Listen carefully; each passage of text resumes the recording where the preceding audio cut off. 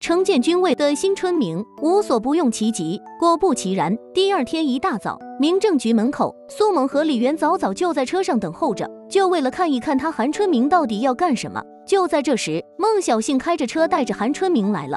苏萌一看这场景，立马下了定论，算是认识韩春明是什么样的人。可李媛不这么觉得。哎，其实你先别这么想，这个也说明不了什么。孟小杏为了离婚把韩春明找来，也属正。韩春明毕竟是孟小杏的哥哥，再说了，小杏在北京也没什么亲戚，这个时候也只能找这当哥哥的帮忙了。再看程建军，他知道苏萌就在一旁看着，于是他也不废话，不就是要离婚吗？可以。他抬头看了一眼车里的苏萌，转身跟上了孟小杏，显然他的目的已然达到。而春明对程建军的把戏却浑然不知，车上的苏萌也没心思再看下去。于是让李媛开车离开。孟小杏这婚一离，那立马就像离了窝的麻雀满天飞，快活的不要不要的。这不，刚出民政局，他就拉着行李箱，没脸没皮的去找韩妈。阿姨，哟，二姨家可没厕所。看着眼前的孟小杏，老人家把以前他耍的小手段都说了出来。这就是韩妈的高明，不好的都说出来解决了，才能更好的相处且不尴尬。你耍那小聪明，贿赂你大哥大姐，把那程建军带进韩家门，你以为二姨心里头不清楚？我心里跟明镜似的，我就不爱戳穿你就是了。当初他和程建军偷偷摸摸的结婚，这事就没告诉韩妈。现在可倒好，日子没过多久就离了婚。要说女人呀，结婚可是一辈子的大事，这看人必须得看准喽。程建军这个人心术不正，离开他是对的。孟小杏的事一解决，春明心里的一块石头也算是落了地。财商高超的他正打着电话，北京申奥的成功。那意味着实体经济高速发展的好时机马上就要到来。最近房山有个好项目，他就有意把它拿下来。可偏偏苏萌也要去参加，这就让他有点不得劲。参加吧，挺尴尬的；不参加吧，这么好的机会可不会有第二次。这边春明的话一句不落的被一旁的李跃进听到了。隔天一早，他就把这事告诉了程建军。而程建军知道这个消息后，他心里也有想法，可奈何自己和春明相比。他那点实力差的不是一星半点，于是他又打起了鬼主意。先是给苏萌大舅打了一个电话：“刘老板，哎，我是建军，我告诉你一个消息啊，韩春明正在拿三号地块。”随后建军又去了老地方，当着二人的面拿出了一个盒子。今天请你们二位来呢，是想跟你们合伙做件大事。二位少爷，坑你了，我不会让二位失望的。我能让你们每个人挣这个数，五万，五十万，五十万，五十万，这只是保底。看来这一票可真是不小。至于说这个倒霉的人是谁，相信大家心里已经有了答案。苏萌大舅接到程建军的电话后，立马又打给了苏萌，这地他是要定了。嗯，小萌，对三号地块的资料，你赶快研究研究。对，你的关系很硬啊。对，该拿下就拿下，啊！就在这时，侯素娥推门而入，带来了两位客人，正是关小关的父母。今天他们是有求而来。他们说呀，从老爷子那儿拿的东西都是赝品，所以我们想请您出来主持公道，看看跟这个韩春明就这事儿怎么交涉的。过奖，过奖。我和春明也不对付。苏萌大舅的话让关家夫妻俩也没辙。苏萌行。苏萌办事一向光明磊落，我们俩商量半天，觉得还是让苏萌出来说说。关母又想到了苏萌，苏萌跟春明关系好，现在只能找苏萌，就算死马当活马医吧。可这次他们又要失望了。对不起啊，估计这次我帮不了你们了。我跟春明分手了，而且这次我们是彻底决裂。古董的事没落下来，但官府官母也不枉此行。北京申奥成功了，发展的机遇遍地都是。今后还得仰仗你刘老先生，您决策，我们家办。那好，呃，待会儿咱们一块儿上房山看看去。行，好，有钱大家一起赚嘛。于是，一大伙人，包括春明，都去了房山，准备在那投资建厂。看着这块地，就连春明的秘书都看了出来，这块宝地简直就是为他们公司准备的呀。春明心里清楚，今天来的这几位，抛开个别没实力打酱油的，剩下的实力都不容小觑。所以要想顺利拿下这块地，他还得想想办法。条件是不错，但是我觉着建厂行，房地产开发就算了。你上哪儿啊？房山的交通不太你搞房地产开发，这商品房你卖给谁啊？谁买呀？你盖工厂，是是地价是下去了，可是运输成本又上来了。春明的话无疑给在场的众人泼了一盆凉水。是啊，别等钱花出去了，等到时候赚不回来，那可就麻烦了。春明当着大家的面这么一说，随后掉头就走了出去。春明说的有道理，要不我回去再想想。那我也先撤了，再见了各位。李元听了，全程黑着脸，程建军更是在那添油加醋。这就是韩春明，你说他不干就不干吧，你说拆什么台呢，程建军的话就是说给李媛听的。对吧，李媛？起码的面子都不给，你不一直都夸人好吗？接茬夸呀！好什么好啊？请拆台。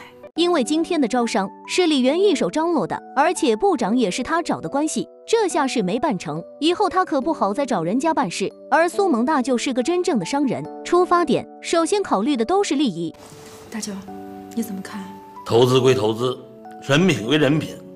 我觉得韩春明说的对，投资的条件现在还不成熟。谁的钱也不是大风刮来的，既然是投资，那就得赚钱，不赚钱的买卖他不做。得，我这么一好的招商引资会啊，全被这韩春明这狗东西给搅了。事后，李元特意和领导解释了情况，领导大气，反过来安慰着李元，毕竟是往外拿钱，而且不是小数目，任谁都得慎重点。而程建军这边，他的计划要开始了，而李跃进就是整个事件的关键人物。今后哎呦对不住，你接着说。我给你介绍一下啊，这位是玩坑里的。哎，哟那个你你们就在隔壁这个房间啊？对对对，那你们先过去，我一会儿过来啊。不出程建军所料，一回来苏萌大舅就有了想法。李月信又来当掮客了，带我跟大舅看一眼呗。程建军表面挺为难，其实心里早就乐开了花。随后，他带着苏萌大舅和苏萌找到了李跃进。东西带了吗？带了两件儿，他们一共一百多件呢，其中就是那个歌谣八方杯最值钱。歌谣，嗯，你看清楚了吗？我就看了一眼，他们就收起来了。为了价格，双方谁也不让。苏蒙大就动心了。歌谣，宋代五大名窑之一，那可是可遇不可求，民间存世本就不多，不管真假，先看看再说。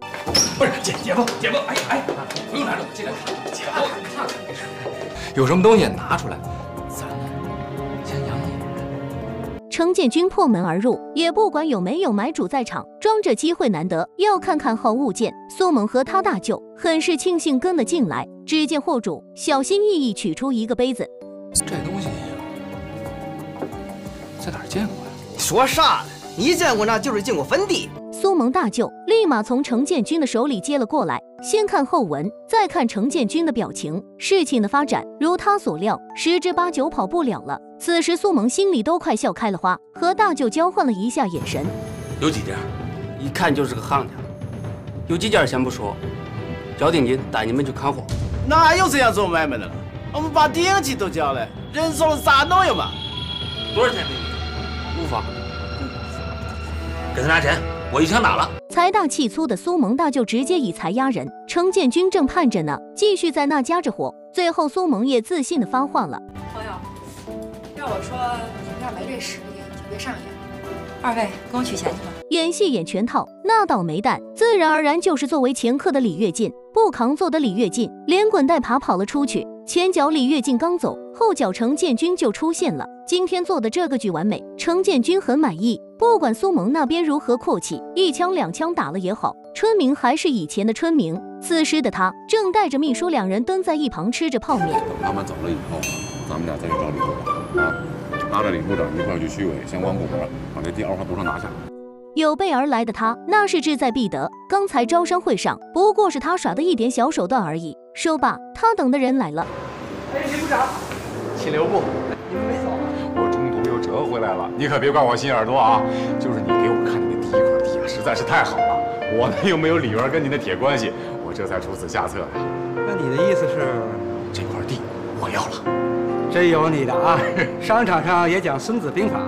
无奈之举啊。商场如战场，你不耍手段，好东西可轮不到你，这点大家心知肚明。再说苏萌，今天他们可是大收获，遇到好东西了。有些事得先说清楚。这事是人家程建军牵的头，不管是给钱也好，给物也罢，这事得有个说法。苏萌也是这个意思，有什么要求咱们当面说清楚，别大家最后闹得不愉快。再看程建军，很是为难的做出了决定。你们把东西收了之后，我得多拿几件。一件。苏萌，就一件。行，一件就一件。恰在这时，李云着急忙慌的赶了过来，告诉你们一个特别不好的消息，刚刚李部长给我打电话，说韩春明杀了个回马枪。把第一块地给买了，什么？一听这话，苏萌大舅气得差点背过气去。小萌啊，这就是爱了你二十年如一日的韩春明啊，明白了吧？一旁的程建军听了这话，立马来了精神。李老板，别劝了啊！我说了多少回了，他不信啊。这就是韩春明一贯的作风。当年啊，从我手里骗走一香炉；七四年，从我爸那儿骗走一青花瓷。现在倒好，把我当敌人，收留我的前妻啊，破坏我现在婚姻。我要不是看在苏萌的面子，我早跟你急了。苏萌再也控制不住，起身就要去找春明理论。一开口说的话就让人很是无语。你为什么这么做？要换以前，春明会让着苏萌，可现在春明不想再做舔狗。我要是跟你们明着抢的话，你大舅宁可自己拿不到这块地，也不会让给我。把地让出来。凭什么呀？凭我暂时还不会对你绝望。